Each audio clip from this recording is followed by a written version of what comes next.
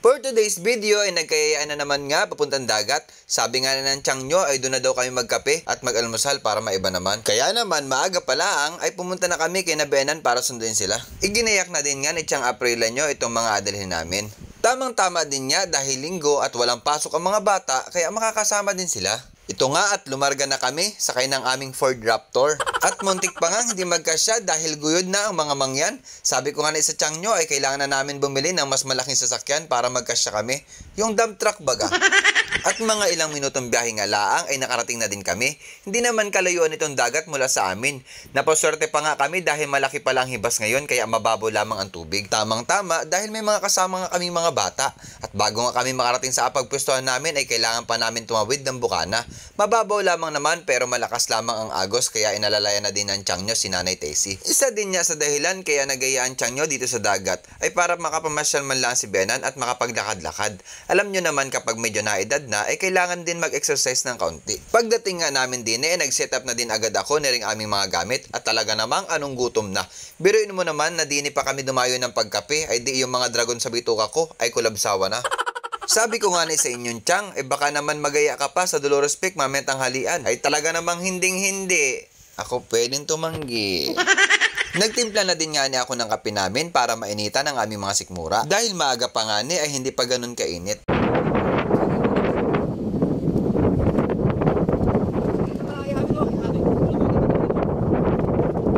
Dahil dini daw nga ni mag-almusal, eh may dala din nga kaming tulingan. Ito pa nga yung huli ni Benan, kaya talagang ito'y fresh na fresh pa. Iringani at inihaw ko na, miski basa ang bunot. Mabili pa din sana nga ni kami dini ng iba pang fresh na isda, kaso ay halos wala nga ni pumalaot dahil malalaki nga ni ang alon. May baon din pala nga ni kaming hinog na saba, kaya sinama ko na din sa pag-ihaw.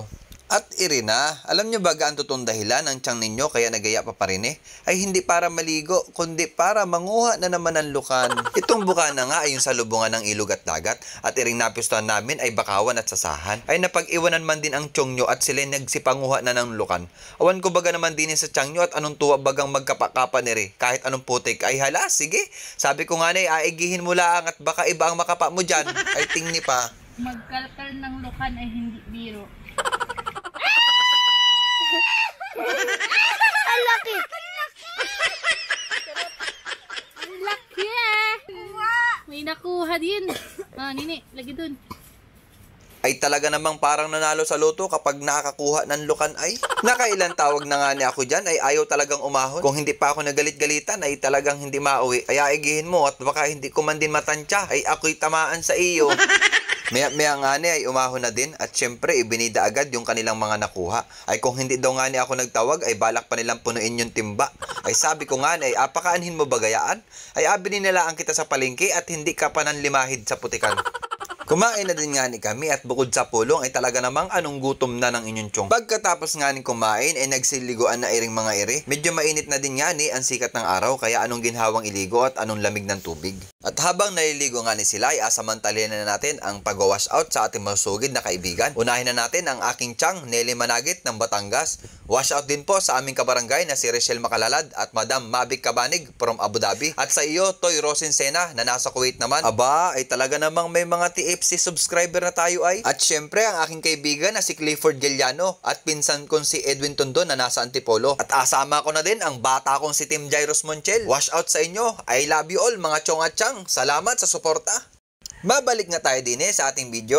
Hinugasan ko na din nga iring mga luka na nakuha nila. Wari ko'y mapapalaban na naman ang inyong chong sa pagluluto ni Re.